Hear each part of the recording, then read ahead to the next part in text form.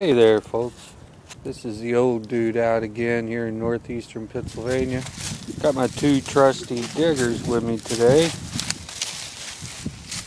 Eh, he's not too enthused, but that one there, she'll dig all day long, she doesn't care. Anyway, I just thought I'd let you know what northeastern Pennsylvania looks like today. Beautiful day, almost 50 degrees. I am so ready for warm weather to stay. I got out a little bit today, a couple of different hunts. Didn't get too much. One old splatted round ball, couple of modern bullets. Here's one. Not really sure if you can see what it is, but it's a modern one. Yeah, just just keeping it real, you know, for the folks that are thinking about getting in the hobby.